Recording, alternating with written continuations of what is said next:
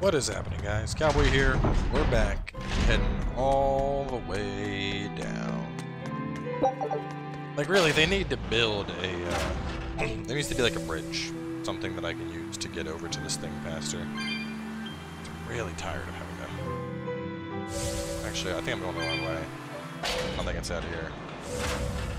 Let's see. I think they want me to go, when she said tower, she probably meant like, thing that's super low. No, wait. Path. Star's there.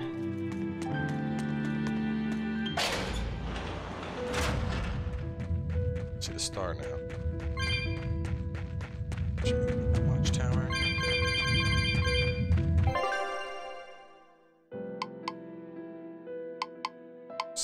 Watchtower, North Watchtower. Why does it say outer path? There's nothing on the outer path. Star must be bugged.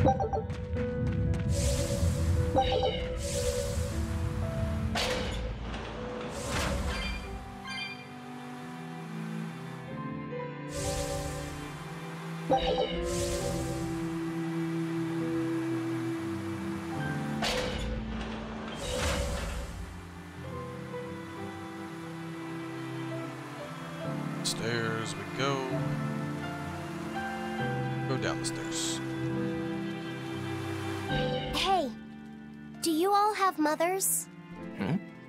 Where'd that question come from? Well, after hearing that Velvet, Kamoana, and Eleanor all lost their parents, I just got curious. My mother was a strict, frightening woman, but she died a long time ago. I see. I have no parents either. But the wicked witch who took me in said I was born from a peach that floated down the river. Coming from you, I'd almost believe that. A- and you, Eizen? We Malakim are formed from untainted mana. Sometimes humans are reborn as Malakim, but they retain no memory of their previous lives. In other words, we don't have blood relations like humans do. I see. By the time I was aware of anything around me, I was already tethered and being called number two. I suppose having no mother means I don't have any memories before that. I told Medissa that losing a mother is painful, but I can't know how painful it is. Oh, Go easy on him, Eizen. He's just a kid. I'm just telling it like it is. But listen to me, Laphicet. You can share deep connections with other people, even if you don't have a biological family. Malakim, too, can form precious bonds. True friendships, even family. That's right. Your words wouldn't have stopped Medissa if they weren't true in your heart. You really think so? I'm sure of it. It's far better than being a witch born from a peach. Nonsense! There's no nobler way to be born! I have an everlasting friendship with a dog, a monkey, a pheasant, and Bienfu. I hope he's right.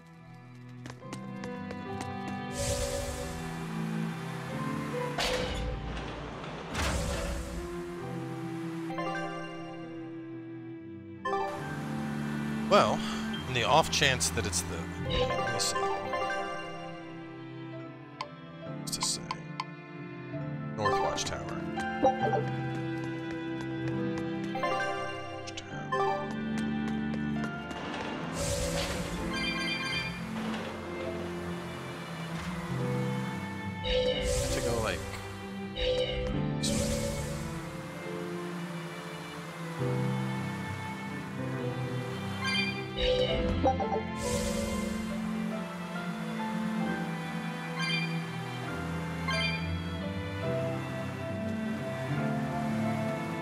You said that Malakim can have familial ties, but what makes you and your sister siblings if you're not related by blood?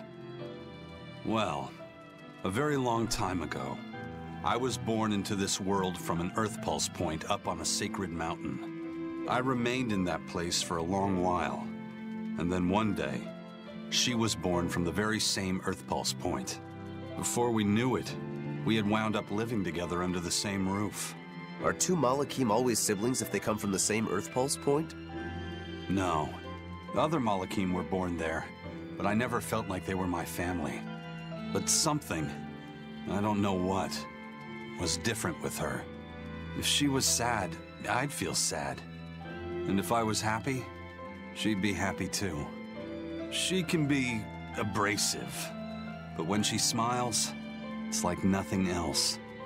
I swore to myself that whatever happened, I would protect her. I made a pendant from a stone on that sacred mountain and gave it to her as a lucky charm. Of course, she just wears it as a necklace. And your pendant? Did she give that to you? She had the same idea I had. She made the pendant herself and gave it to me as a good luck charm. Without either of us having mentioned a word of it beforehand, we each gave each other pendants in the same shape on the very same day. That's when I really knew that what I had felt all along was true. We were brother and sister. Is that her in the picture? Yeah. It's a self-portrait she drew for me on the day I left home. Did you draw her a picture of yourself? No. I don't exactly have an artistic side. Well, I'm sure that if you looked inside her pendant, you'd find a portrait of the person who matters most to her. I hope so. Yeah, and it would be nice if it was you. Magilou, gotta come in and throw that shade.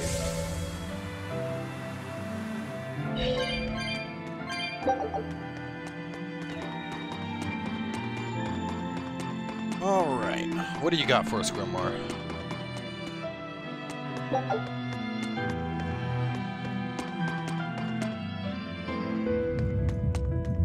Ah, there you two are. Hi, teacher. Have you made progress deciphering the book? I have indeed. It turns out there was a second counting song. I've already transcribed it. Would you read it aloud for us, child? Okay. Um, when the eight malevolences overflow, in the culmination of mankind's despair, Innominat will bring an end to all peoples and restore them to time immemorial. Four Empyreans shall wield a wrathful sword and cleave the great devourer, two asunder to sleep beneath the earth, as scarlet moonlight illuminates the evil.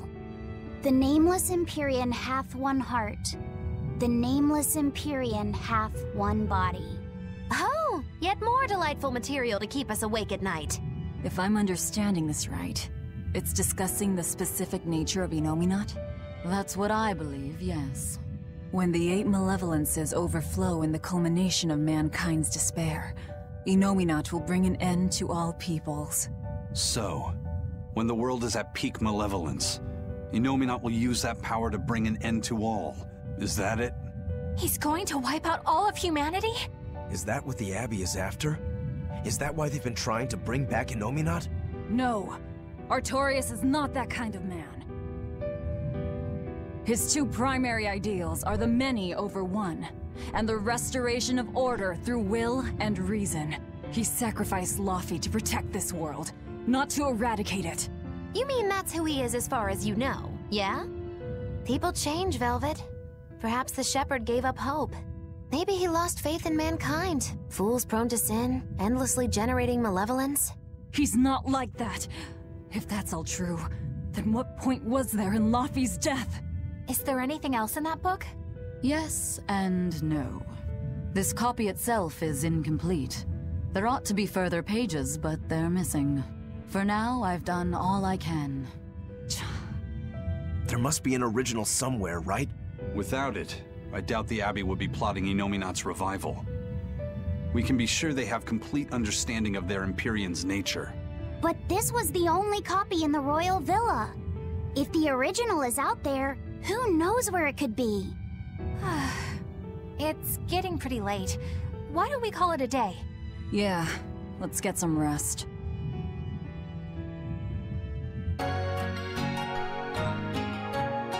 Or the Abbey doesn't understand Innominat's true nature. Don't realize that he's just gonna wipe out the world.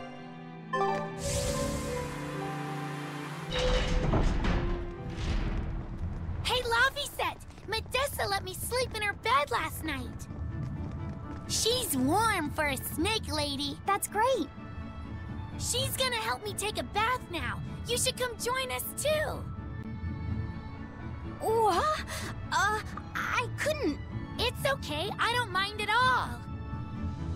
Um, I... Hey, Kamoana. Did you know? Dyle started to grow a brand new tail. Wow, really? I want to see? He's up at the observation tower. Let's go see! Medissa, you too! Uh, all right. But don't run, or you'll trip.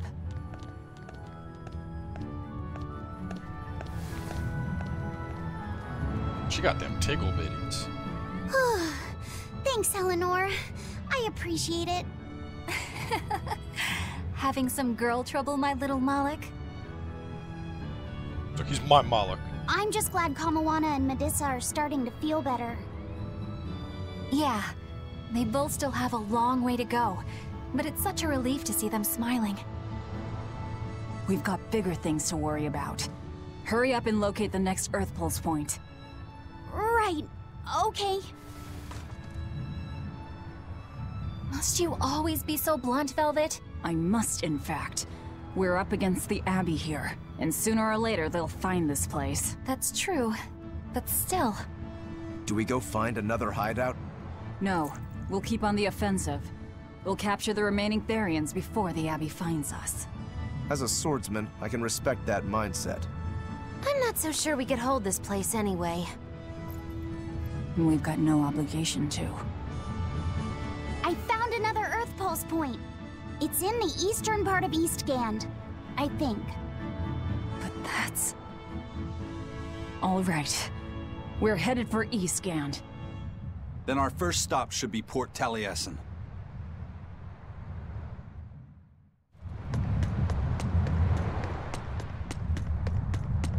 Where's your tail at, Dyle? Hey! That's where I cut it off. This island's really something. No way I'd want to go to prison here, but it'd make a great hideout. If I'm gonna be left in charge of this place, I'll turn it into the best hideout ever. You're in charge? Someone has to look after this place while you're all running around, maintaining the ships in the base, watching the Prince and Medissa, keeping Kamoana company. I'll keep this place running ship-shape, so that you all can focus on looking for the Therians. But those are just odd jobs anyone can do. You're a navigator. Isn't that a waste of your talents? You dolt! These are important tasks! Someone's gotta do it! We've got another navigator, but is there anyone besides me that could handle all of this by themselves? Besides, ever since I lost my tail, my balance has been off. The seasickness is killing me! That's your story and you're sticking to it? Tell the truth. You don't want to come because you're afraid you'll be hurt again. Uh, no, that's not it at all.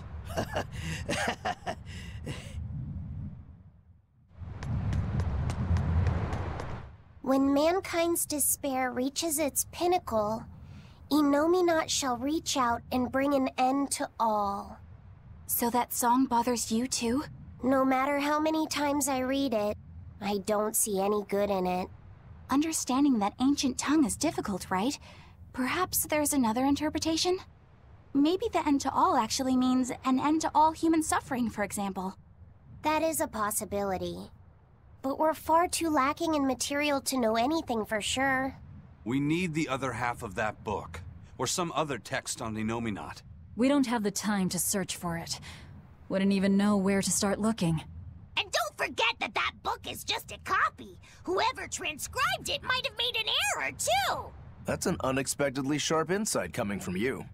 I'm an expert at errors. when Miss Magilou made me copy magic tomes for her, I did it pretty half-heartedly.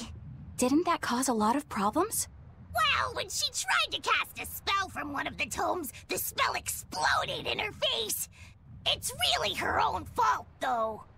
She told me to copy 100 books in three days! That's impossible! Oh, how cruel! Cruel is right! That witch is a real devil, I tell you! A slave driver! Bienfu, let's go somewhere a little more private, shall we? Miss Magilou! Hush now. There's no need to worry. I'll make it a half-hearted punishment.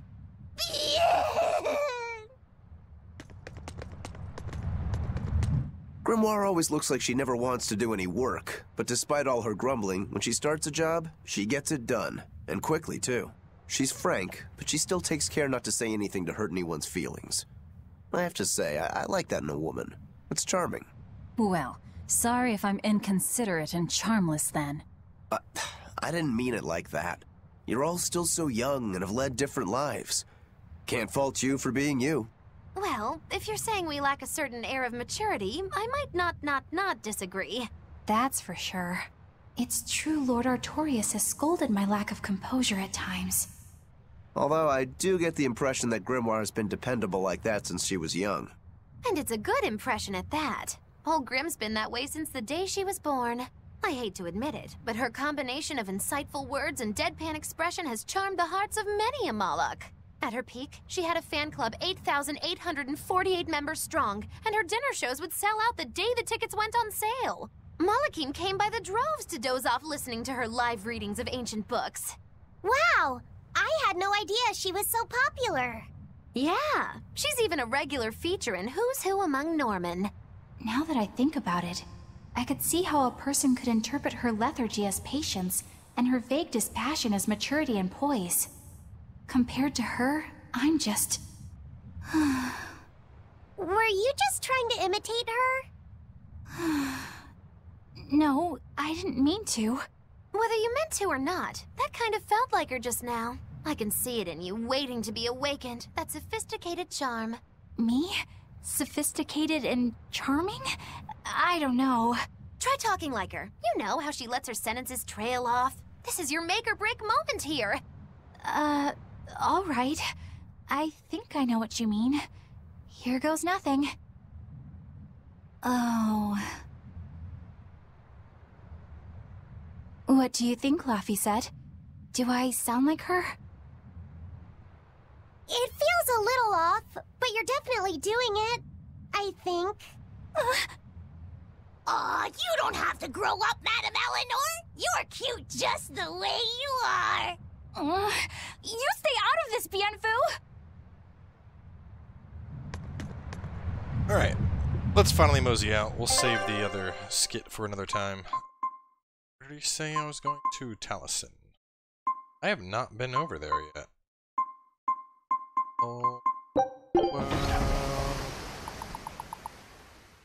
Well, all the places for my ship.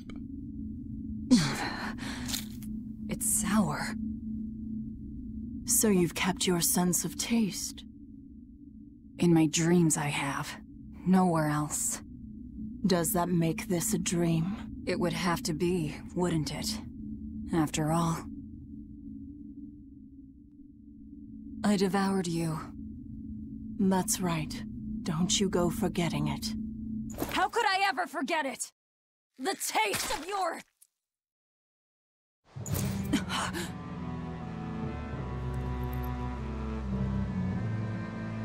How could I ever...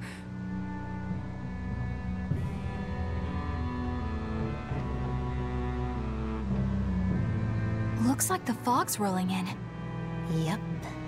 Eleanor, there's something I want to be sure we get perfectly clear. Um, alright. What is it? Laphicet is not your little Malak. What? That's all you wanted to say?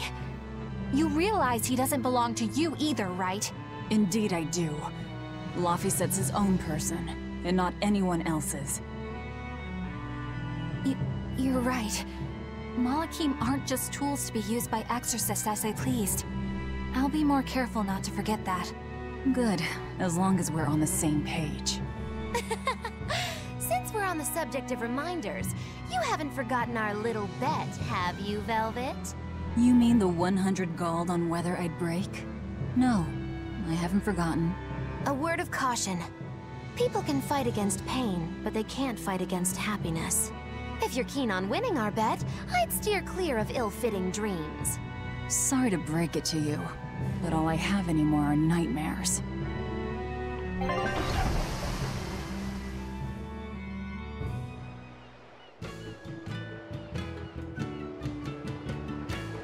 The fog's cleared. Good thing we didn't wind up getting lost in it. Of course we didn't. Who do you think is running this ship? A bunch of shameless rogues who are very good at shameless roguery. Damn straight. But it's strange. These waters don't usually see much fog. Anyway, made it to Taliesin, city of the east. Get east.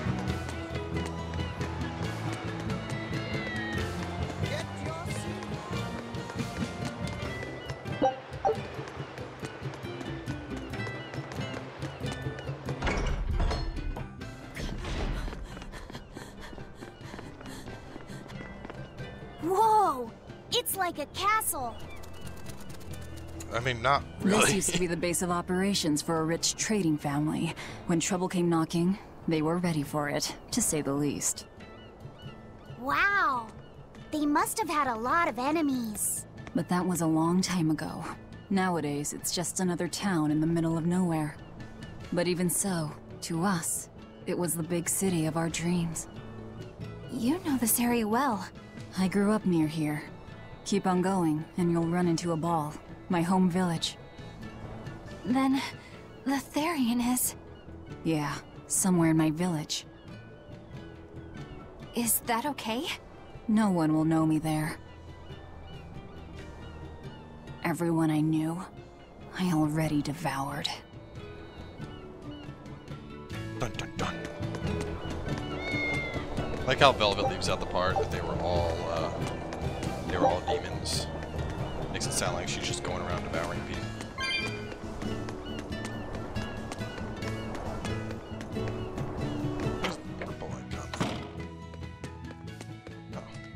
Oh.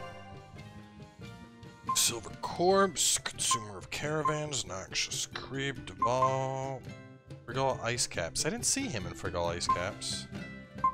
Did I not see him?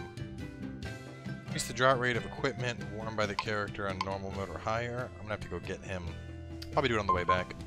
Uh, Forest, Cliffside Path. These are new areas, but Deval Forest I've been to. By healing arts used. Okay, oh wow, I need that. How did I kill that?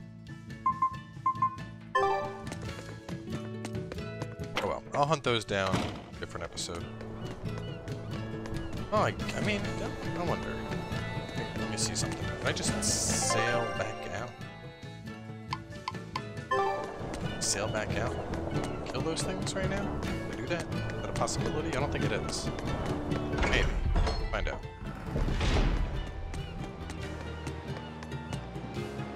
Actually, I don't think so. I don't even see an, an entrance to get on the boat. Yeah, something is preventing me. Womp womp. Alright. Let's go get our exploration on.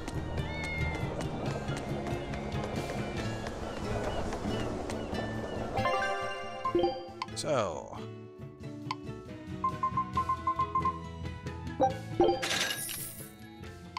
Okay, and now dismantle.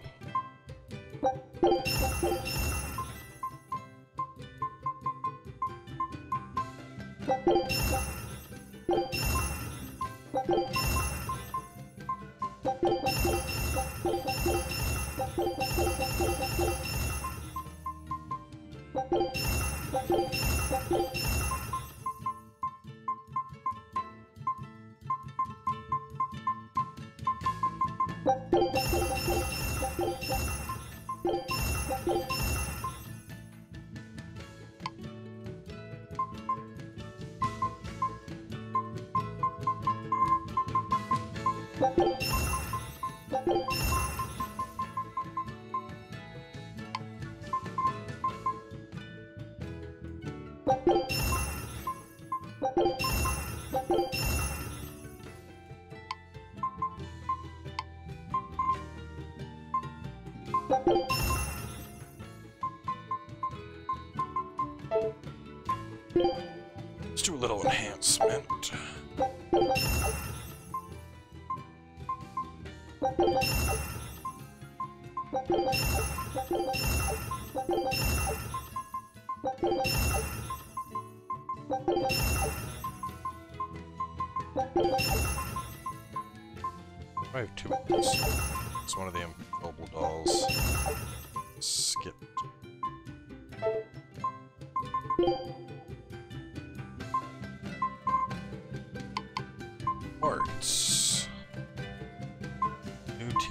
gear.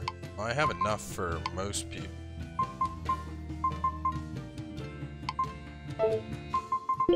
See something first. To go to. A couple different ones you can use. You could use one of the waistcoats.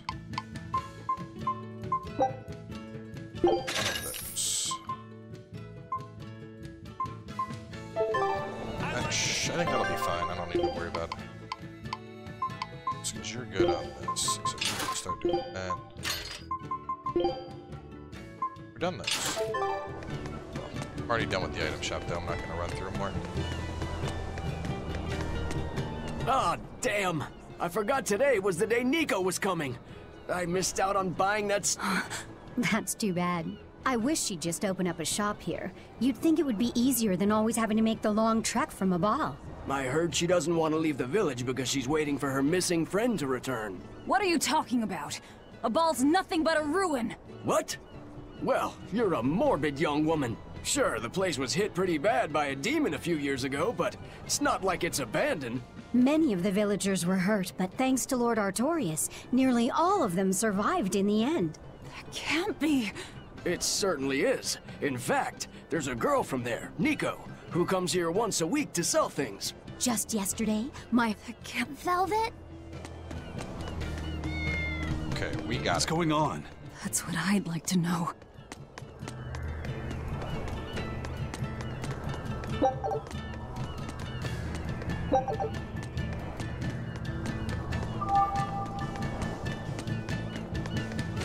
There's four treasure chests around this town somewhere. That festival. It sure was. I, I don't love care, this child. meat. anyway, Taliest. Yeah. What do you think you'll? Uh. Niko, Like, I saw everyone turn into freaking uh, werewolves. This looks like a place I'll find some of those treasure chests.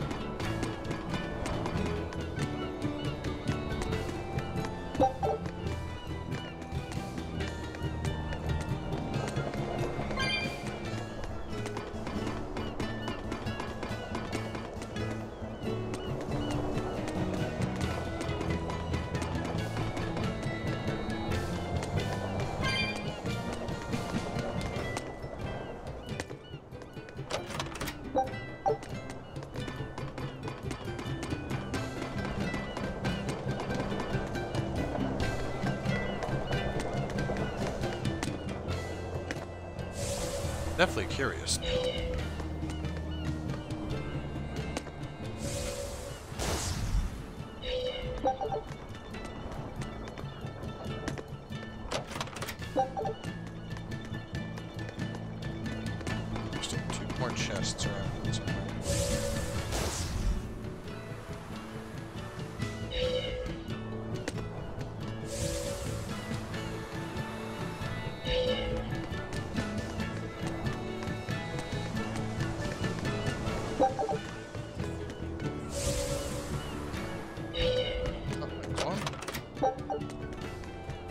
Last one, based on those three,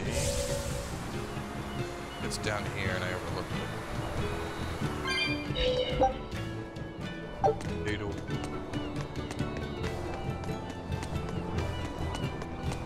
Gotta be somewhere. Semi. But I want to go. Definitely going to be going to the uh, Village in the next episode. I want to see. Everyone should be dead.